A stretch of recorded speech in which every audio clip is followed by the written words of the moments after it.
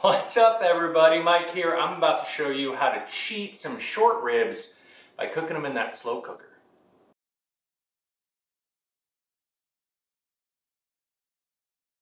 So let's quickly go through what is going into my crock pot for my slow cooker short ribs. Obviously, I have my short ribs right here. I am going to very liberally season them on all sides with salt, just salt on the actual beef. I don't want to put any pepper on the beef. I will be peppering the mixture that goes into the crock pot as far as all of the spices and everything. But I just want salt on. So those are going into my slow cooker. Next up, one cup of red wine. I'm just using a red blend. I'm not a big fan of wines, so I'm just using anything that I can get at the store. Next up, three cups of chicken stock. Then we are going to go with two tablespoons of pre-chopped garlic. Next, I have three sprigs of rosemary and a handful of thyme that is going in. I'm going to very, very roughly chop this onion. I'm not even going to be taking off the skin because I'm not going to be eating it. Those are going in just to flavor. Next up, I have some tomato paste here that is going to give a little bit of extra umami. And I just want to give a little bit of a squeeze. Next up, I have some local honey. I just want a little bit to add some sweetness to this. I don't want a lot, so maybe a tablespoon of that honey. Next up, I'm gonna peel these carrots, chop them very roughly, toss them in, and that's going to go into the crock pot on low overnight. My short ribs are done. I am about to drain this now that I have removed it from the heat. So my short ribs are wrapped. The liquid that they cooked in has been strained out. This is all gonna go into my fridge while I am working today. Then when I come back, I'm gonna start reducing this tonight for dinner, and these will get seared off before being glazed with the reduced liquid. After a couple of hours in the fridge, this is what the liquid I pulled from the crock pot looks like. I'm going to go ahead and scrape all of this solidified fat off of here, and then the liquid that you see underneath is going to go into my sauce for the short ribs later on. But once I get this fat out of here, this is gonna go back into the fridge until I am ready to start cooking everything up.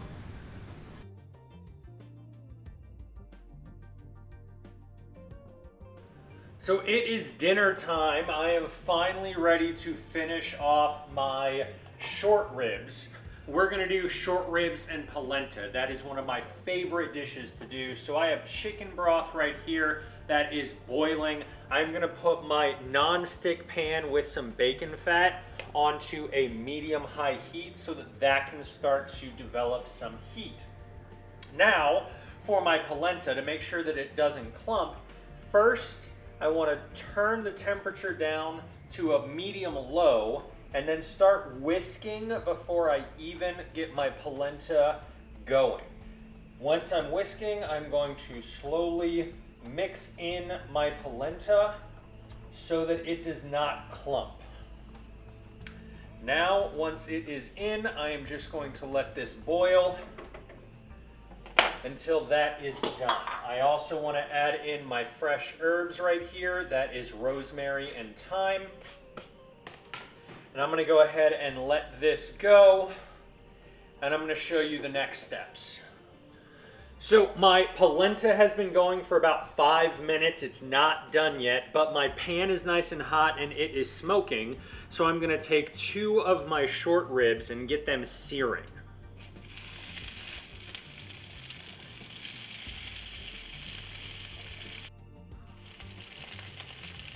While you are searing your short ribs, you want to make sure that you are getting all four sides. So don't forget to do that. You'll see me doing that throughout this cooking process.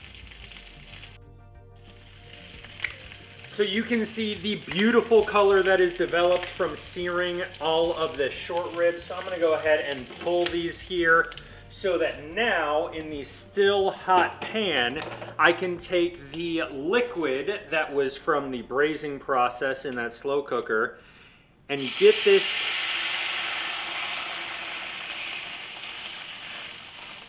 and get this reducing to eventually glaze my short ribs. We are about 10 minutes since I started the polenta and it is starting to thicken up nicely. It's gonna have to go for a few minutes, which is fine because I need to let this go for a couple of minutes to reduce and I am going to put my short ribs into my liquid when it has reduced by about half of this right here. So I'm gonna show you that in a minute. 15 minutes from when I started my polenta, I have added in some salt and black pepper, and I'm just stirring that in right now so that that is well incorporated. My polenta is starting to get done. I still have a couple of more minutes to go on everything, but I just wanted to fill you in. So we were about 20 minutes from when I started the polenta. It is done. So I am going to cut the heat all the way to its lowest temperature and just pop a cover on it so that it stays warm and ready for me to grate in some fresh Parmesan cheese and stir in some butter right before serving. But my liquid has reduced by a considerable amount, so I'm gonna go ahead and put in my short ribs so that they can start being glazed and they can start reheating in that liquid.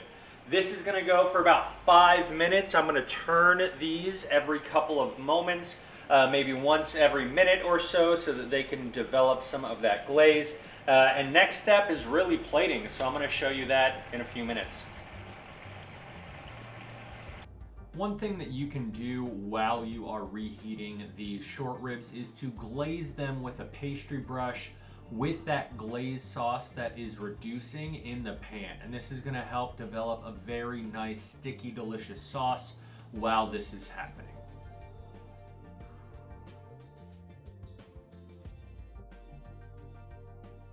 And after a day and a half, I cannot wait to tear into these short ribs and this polenta. I really hope you make this and let me know your thoughts. Have a good one.